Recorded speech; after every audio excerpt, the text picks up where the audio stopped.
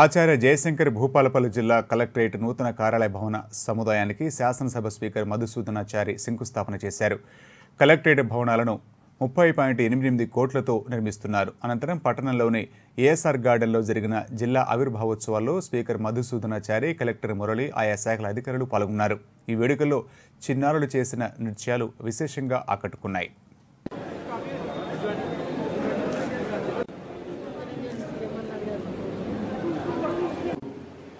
ఇది ఒకవైపు కార్మిక లోకం ఒకవైపు కర్షక లోకం అనే విషయాలు కూడా నాకు తెలవడం నా అదృష్టం.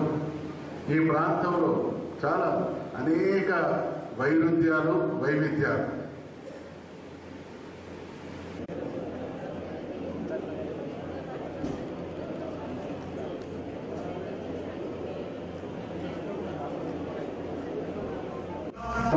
కాలం గౌరవ ముఖ్యమంత్రి గారి ఆలోచనలు వారి నిర్ణయాలు శిరోధార్యం కాబట్టి ఫ్రెండ్లీ ఆఫీసర్స్ ఫ్రెండ్లీ మధుసూదనాచారి గారు ఉంటే తప్ప ఇంకొక రకంగా కాదు అనే విషయాన్ని కూడా హామీ ఇస్తాము ఇదే క్రమంలో దయచేసి ఏ ప్రజల కోసమైతే ఈ ప్రభుత్వం నిర్ణయాలు తీసుకుంటున్నదో ఏ ప్రజలకైతే ఫలాలు ఫలితాలు అందించబడాలని భావిస్తా ఉన్నాయో అటువంటి ప్రజలకు సేవ చేయడం. నిజంగా భూపాలపల్లిలో పనిచేసేటువంటి అధికారులు వాళ్ళ జీవితంలో ఎక్కడ దొరకని సంతృప్తి సంతోషం.